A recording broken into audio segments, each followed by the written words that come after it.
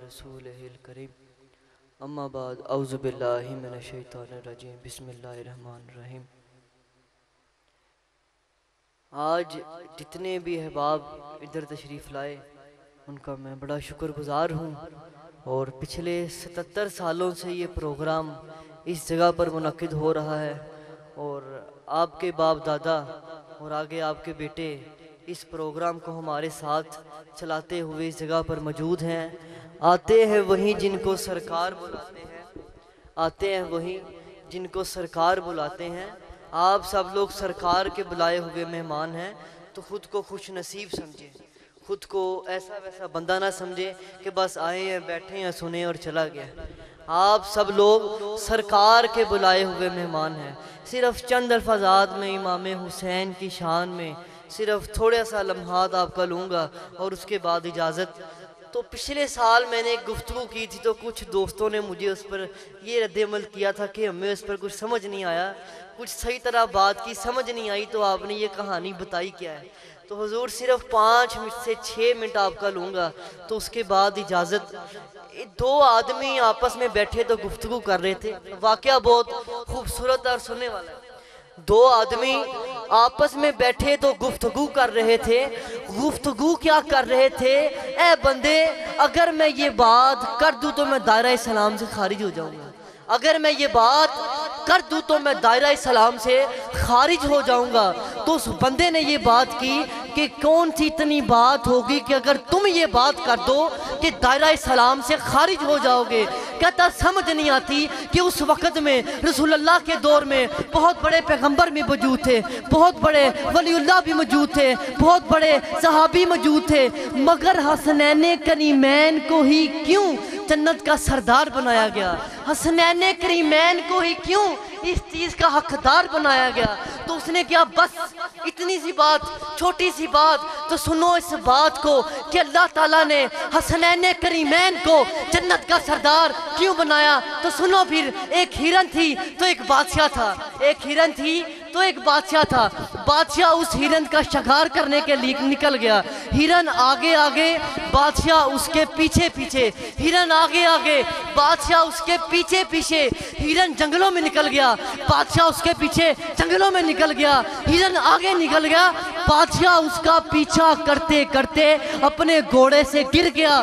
और थक हार के रिंगता रिंगता एक खेमे में जाके जहाँ पहुँचा, जहाँ एक माँ और उसका बेटा मौजूद था। उसकी माँ ने जब देखा उसको तो कहती है, मेरे बेटा, कि जो बंदा मुझे लग रहा है ना, ये कोई आम बंदा नहीं लग रहा।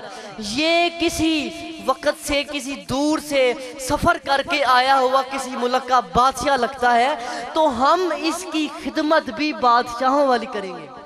एक छोटा सा खेमा था तो सोच पड़ी थी ना तो हम इसकी खिदमत भी बादशाहों वाली करेंगे। एक बकरी थी, उस एक बकरी का दूध पिलाया। दूध पिलाने के बाद खाने का कुछ भी नहीं था, पास कुछ भी नहीं था, और उसी बकरी को हलाल करके उसको खिला दिया। उसने जब ये बातें सुनी तो कहा, तुम लोग मेरे साथ महल चलो। उनको अपने साथ महल ले गया। महल जाने के बाद वो सारा वाक्य अपने वजीरों को बताया। वजीरों को बताने के बाद कहता मेरे वज़ीर, मेरा दिल उन पर इतना मुतमिन हो गया है कि मेरा दिल नहीं इस काबू में आ रहा कि मैं उनको क्या ऐसी चीज़ दूँ, क्या उस चीज़ से नवाजूं कि मेरा दिल मुतमिन हो जाए। किसी ने जगीर कही, किसी ने ज़मीने के किसी ने हीरे के किसी ने जवाहरात के मगर बादशाह आखद मेरा दिल मुतमिन नहीं हो रहा।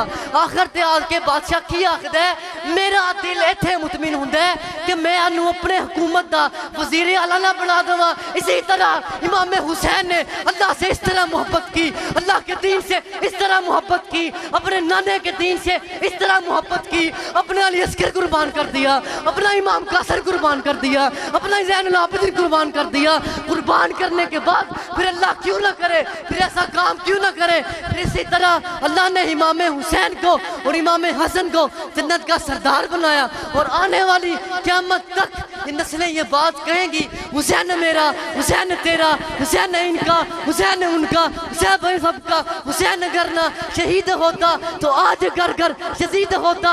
नबी की सुन्नत अया ना होती, खुदा के घर में अजा ना होती, खुदा के घर में अजा ना होती। बख्श साहब ने बहुत खूबसूरत बात की और उनकी बात का नचोड़ असल में ये था कि इमाम हुसैन अगर चाहते, क्या मौला गाजी अब्बास के पास कम ताकत थी? जब वो अपने घोड़े पर सवार होकर निकलते थे ना, बुज़ुर्गों, भाइयों, जब मौला गाजी अब्बास अपने गोजे, अपने घोड़े पर बैठकर सवारी पर निकलते थे तो ज़मीन भी जलजले खा जाती थी। इस कदर ताकत अल्लाह ने इनमें दी हुई थी। क्या वो नौ लाख फौज को एक झटके में नहीं उड़ा सकते थे?